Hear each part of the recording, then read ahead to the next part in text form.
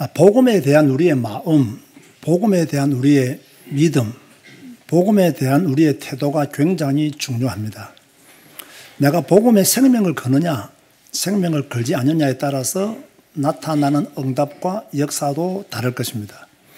복음의 생명을 걸지 않고 신앙생활하면 제가 종교생활이라고 했습니다. 종교인들은 자기의 이익만 구하는 자들이지 복음의 생명을 걸지 않습니다. 참 믿음의 사람이라면 복음의 생명을 걸어야 되고 생명 맞춘 신앙생활을 계속할 수 있어야 됩니다. 왜? 복음은 생명이기 때문에 값싼 복음이 아니라 엄청나게 값비싼 복음임을 잊지 말아야 되죠. 왜 복음이 생명이냐? 우리는 전에 허물과 죄로 죽었던 사람이잖아요. 왜 복음이 생명이냐? 우리는 날 때부터 진노의 자녀이었다라고 에베소서 2장 3절에 말씀하고 있습니다. 왜 복음이 생명이냐? 하나님께서 우리를 사랑하신 그 큰 사랑으로 인해서 그리스도와 함께 우리를 살리셨기 때문에 하나님이 그리스도와 함께 우리를 살리셨기 때문에 복음은 생명이 되는 것입니다. 요한복음 20장 31절에 보니까요. 오늘 본문 말씀이죠. 오직 이것을 기록하면 너희로 예수께서 예수께서 하나님의 아들 그리스도이심을 믿게 하려 하며 자 성경을 왜 기록했느냐 예수님이 하나님의 아들 그리스도다 이걸 알게 하려고 성경을 기록했다는 거예요 또 이것을 너희로 믿고 그 이름을 힘입어 예수 그리스도 그 이름을 힘입어 생명을 얻게 하려 함이니라 이 축복 받은 것을 믿으시기 바랍니다 예수 그리스도 그 이름을 힘입어 우리가 새로운 생명을 얻게 되었어요. 그래서 복음은 생명이 되는 거예요. 이 생명은 영원한 것입니다. 요한복음 6장 35절에 보니까요. 예수님을 생명의 떡이라고 그렇게 말씀했어요. 나를 믿는 자는 영원히 목마르지 아니한다. 요한 1서 1장 2절에도요. 영원한 생명이라고 했고요. 요한 1서 2장 25절에도 영원한 생명이라고 복음은 영원한 생명이라고 우리가 얻은 구원은 영원한 것이라고 그렇게 성경은 말씀하고 있습니다. 고로 우리의 이 생명을 빼앗을 자 있습니까? 없습니까? 없다. 무효화 시킬 자가 있다 없다? 없다. 사탄도 예수 생명 가진 우리를 절대로 빼앗지 못한다. 라는 것이 하나님이 우리에게 성경을 통해 주시는 메시지입니다. 그렇다면 자 복음이 생명이라면 우리는 복음에 대한 어떤 태도를 가져야 합니까? 자, 복음이 여러분의 생명이라면 복음에 대한 어떤 자세를 가지는 것이 합당한 자세이겠습니까? 생명의 복음에 대한 우리의 자세가 중요한 거예요. 그런데 신앙생활 하시는 분들을 보면 이 복음 앞에 잘못된 태도를 가지고 있는 분들이 있어요. 왜 복음 앞에 잘못된 태도를 가지느냐? 복음에 대한 이해가 잘못되어졌어요. 복음에 대한 잘못된 신앙관이 그 속에 담겨져 있어요. 다시 말합니다. 복음은 값싼 것이 아닙니다. 아주 값비싼 복음입니다. 그렇다면 복음이 생명이기 때문에 우리는 이 복음 앞에 뭘 걸어야 된다? 생명을 걸어야 된다. 생명과 생명이 만나야 역사가 일어나는 거예요. 맞습니까? 생명과 생명이 만나야 역사하는 거예요. 예수 생명과 생명은 우리의 신앙이 만나야 하나님의 역사가 일어나는 거예요. 그런데 예수 생명은 분명한데 우리가 생명이 없어. 가졌다고 하는데 잘못된 생명을 가지고 있어요. 틀린 생명을 가지고 있어요. 이러니까 뭡니까? 생명과 생명이 만나지를 못하는 거예요. 그래서 복음이 복음으로 나타나지 아니하면 하나님의 능력은 우리에게 일어나지 않는다는 거예요. 생명을 받은 우리는 생명을 거는 믿음이 있어야 됩니다. 자, 여러분에게, 우리 제자교회 성도들에게, 우리 언택도 교회 성도들에게 어떤 믿음이 있어야 되느냐? 생명을 거는 믿음이 있어야 돼요. 사람에게, 다시 말합니다. 사람에게 생명을 걸면 안 됩니다. 우리에게 새 생명을 주신 분은 하나님이십니다. 그렇다면 새 생명을 주신 그분께 우리의 생명을 걸어야 돼요. 우리에게 새 생명을 주신 성삼이 하나님께 우리의 생명을 걸어야 되지 다른 것에 생명을 건다는 것은요, 우상 숭배에 빠진 것과 같다는 거예요. 그런데 교회 안에 엉뚱한 것에 생명 거는 자들이 많이 있습니다. 돈에 생명을 겁니다. 자, 돈 중요합니다. 돈의 가치 중요하죠. 이 땅에 사는 날 동안 돈은 필요합니다. 필요하지만 돈에 생명 걸 필요는 없습니다. 왜? 돈이 우리의 구원은 아니기 때문입니다. 구원이 돈으로 인해서 결정되어지는 것이 아니기 때문에 돈이 우리를 영원한 천국으로 인도하는 그런 지름길이 아니기 때문에 우리는 돈에 생명을 걸 필요가 없어요. 그런데 오늘날 성도들을 보세요. 하나님 하면서 어디에 생명을 거느냐? 돈에 생명을 겁니다. 주여 하면서 어디에 생명을 거느냐? 돈에 생명을 겁니다. 돈에 생명 걸지 마시고 복음의 생명 거는 여러분 되시기를 주님의 이름으로 축원드립니다. 명예의 생명을 거는 자들도 있습니다. 왜 많은 정치인들이 자살을 합니까? 왜 많은 경제인들이 자살을 합니까? 왜 많은 엘리트들이 자살을 합니까? 간단합니다. 자신의 명예를 지키고 싶어서 자살을 하는데 또 우리나라에 잘못된 사람들은 자살한 사람들을 또 추모하고 숭배하고 또 모시고 이런 사람들도 있어요. 저는 그것도 좋은 것은 아니라고 생각합니다. 자살을 부끄럽게 여기는 사회가 되어야 건강한 사회가 되는 거예요. 자살을 정당화시켜주고 자살한 사람을 우상화시켜준다는 것은 뭡니까? 이게 뭔가 잘못된 방향으로 가고 있다는 증거가 아닐 수 없어요. 그래서 우리는 명예의 생명 걸면 안 됩니다. 그러나 우리는 명예롭게는 살아야 됩니다. 추하게 살면 안 됩니다. 그러나 명예의 생명을 걸면 안 된다는 거예요. 그런가 하면 잘못된 이념과 사상의 생명 그런 자들도 있습니다. 주로 뭐 공산주의자들이 그럴 수가 있겠죠. 다 어떤 사상, 잘못된 이념, 이런 것에 막 생명 걸어요. 그죠? 그 사상이 전부인 것처럼 그 사상을 위해서 자신의 인생을 드리는, 인생을 바치는 사람들도 있어요. 그것을 위해서 사는 사람들이 의외로 우리 주위에 많이 있을 수가 있어요. 잘못된 것입니다. 이념과 사상, 물론 중요할 수 있어요. 그러나 성경 위에 이념이 있고 성경 위에 사상이 있다면 그것도 우상숭배가 되는 겁니다. 성도들은 그런 거 잘 구분해야 됩니다. 이 좋은 이념이 성경 위에 있느냐, 이 좋은 이념을 이루기 위해서 성경을 짓밟고 있느냐 아니냐를 볼 수 있어야 돼요. 이걸 못 보면요, 엉뚱하게 자꾸요, 선거를 하고 엉뚱하게 투표를 하고 잘못된 길로 갈 가능성이 굉장히 많이 있다는 거예요. 그런가 하면 우리나라 일부 사람들은요, 이 지역 감정에 생명을 거는 사람들이 있어요. 뭐 지역 감정 그게 뭐 그리 중요하다고요. 그죠? 그렇지만 지역 감정이 막 생명 걸면서 그렇게 말하는 사람들도 있더라고요. 막 그렇게 수근수근거리고 뒤에서 이상한 소리하고 이런 사람들이 엄청 많아요. 이게요, 교회 밖에서의 일이 아니에요. 교회 안에서의 일이에요. 전에 어떤 목사님이 뭐 한참 뭐 보수 진보 나누어서 막 이렇게 설교를 할 때 이 목사님이 약간 보수이신가 봐요. 보수이다 보니까 보수 편을 들었더니요. 그 교회 장로님이 벌떡 일어나서 교회 나가더랍니다. 예배 시간에. 그래서 그 목사님이 너무 충격받았다는 거예요. 아니 뭐 모체자가 뭐 자기의 어떤 뭐 그걸 뭐 조금 성경적으로 말을 했다고 해서 그 장로가 돼가지고 벌떡 일어나가서 예배 시간에 나가면 그 내가 그랬어요. 그거 잘 나갔다고 그거 내가 그랬어요. 그런, 그런 인간은 빨리빨리 나가야 된다고. 그 오래 있으면 그 가라지라고, 그거, 성경적으로. 빨리 나가야 된다고. 그래서 알고만 남아야 된다고. 그랬더니 전혀 위로가 안 되는 모양이더라고요.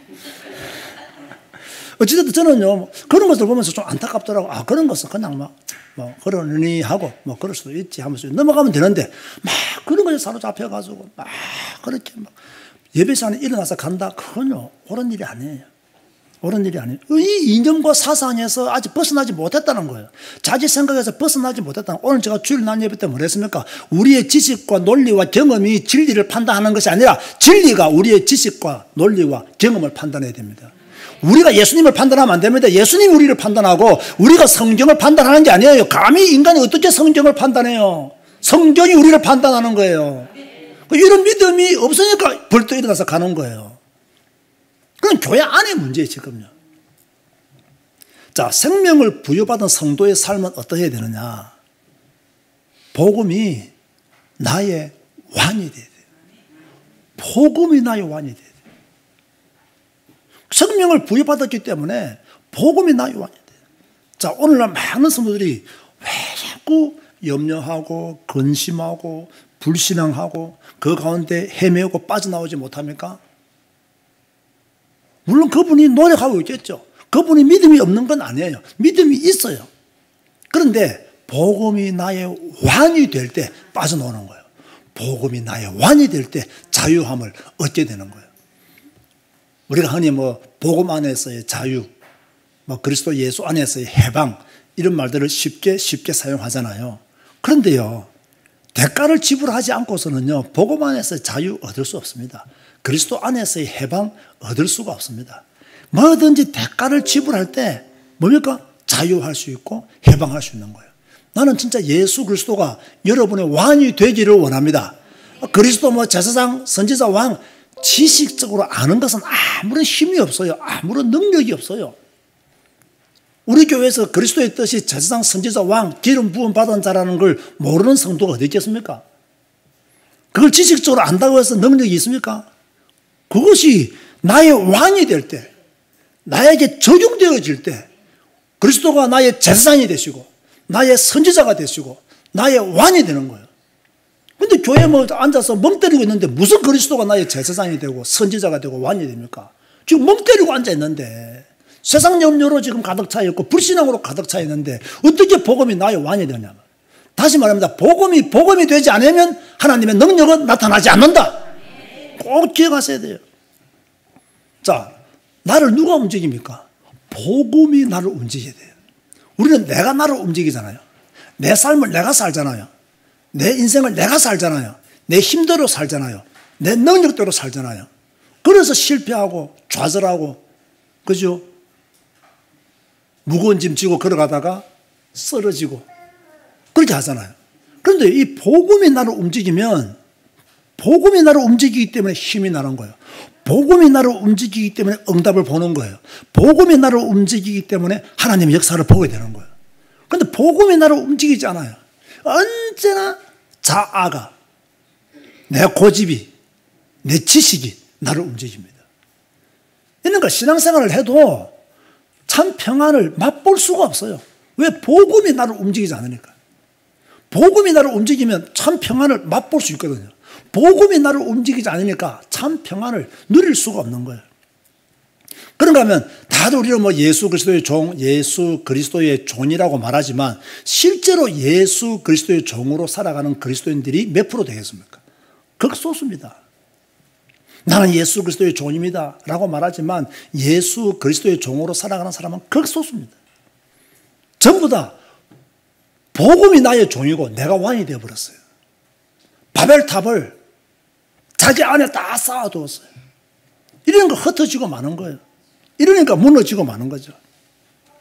저는 우리 제자교회 모든 성도님들, 우리 언택도 교회 모든 성도님들 생명을 부여받은 자로서 생명을 가지고 있는 자로서 복음이 여러분의 왕이 되고 복음이 여러분을 움직이고 여러분이 예수 그리스도의 종으로 살아가기를 주님의 이름으로 축원드립니다. 내가 예수 그리스도의 종으로 복음이 나의 왕으로 복음이 나를 움직이도록 그러면서 열심히 공부하는 거예요. 그래서 열심히 직장 생활하는 거예요. 그러면서 사람 만나는 거예요.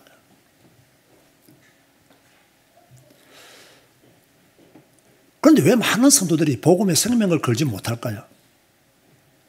왜 많은 성도들이 교회는 다니는데 절대적인 응답을 받지 못할까요? 왜 복음을 이렇게 희미하게 알고 있을까요? 왜 복음의 가치와 능력을 모르고 있을까요? 30년을 교회 다녔으면, 20년을 교회 다녔으면, 10년을 교회 다녔으면, 교회 다닐 만큼 다녔잖아요. 그런데 왜 이렇게 복음의 가치와 능력을 모르고 있을까요? 아는 사람은 따라갑니다. 알기 때문에. 제가 가끔씩 하는 말이 있습니다.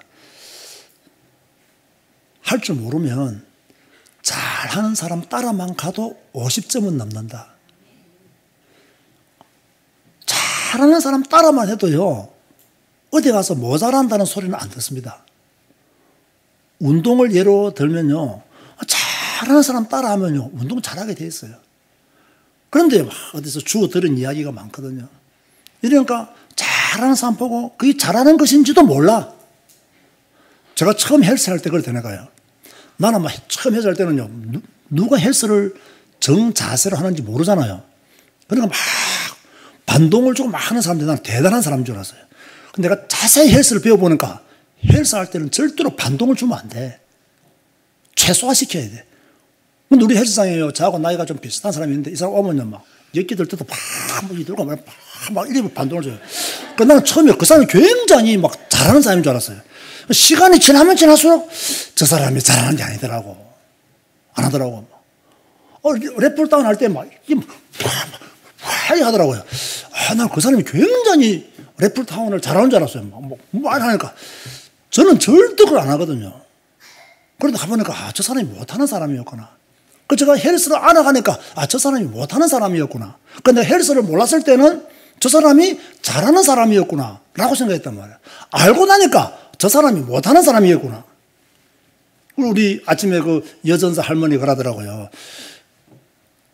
저 사람처럼 하면 안 돼요. 그러더라고요. 저 사람처럼 하면 안 돼요. 왜 그런 말 하겠어요? 틀리다는 거 아는 거예요. 잘못됐다는 거 아는 거예요. 그럼 모르면요, 진짜 누가 잘하는 사람인 줄 알아야 되고요.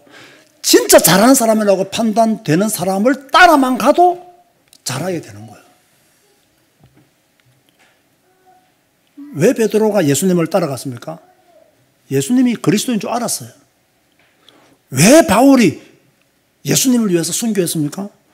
예수님이 누구신지 알았어요. 왜 우리가 지금 예수 믿습니까? 이 어려운 시대에. 다 하나님을 떠나고, 다 교회를 떠나고, 교회를 비난하고 손가락질하는 이 시대에 우리는 왜 교회에 남아있습니까? 복음의 가치와 능력을 알기 때문에 남아있는 거예요. 모르면 이곳에 남아있을 수가 없어요. 떠난 자들은 모르기 때문에 떠난 거예요. 뭐 교회가 잘못되었다, 행정이 잘못되었다, 뭐가 잘못 다 거짓말이라니까, 다 사기라니까요. 지성가지라니까요.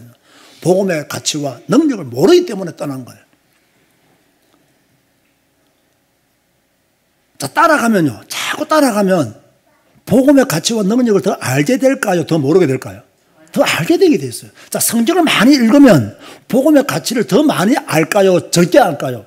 이런 어리석은 질문 어디 있습니까? 더 많이 알게 되어 있지. 성경을 읽는데 복음의 가치와 절대성을 더 알게 되어 있지. 그러니까 제가 볼 때는 성경 안 읽고 교회 다닌다? 절대로 복음의 가치와 능력을 제대로 아는 성도가 되기는 어렵다. 내 신앙이니까 건드리지 마세요. 내 믿음이니까 건드리지 마세요. 성경 안 읽으면 복음의 가치와 능력을 제대로 몰라요. 사람들에게 전달받은 그 복음이 쪽복음이지 완전한 복음은 아닙니다, 여러분. 여러분, 우리가 전하는 복음은 쪽복음이에요. 여러분, 쪽복음만 들어도 구원받아요. 그럼 쪽복음보다 완전한 복음을 아는 것이 더 중요하잖아요.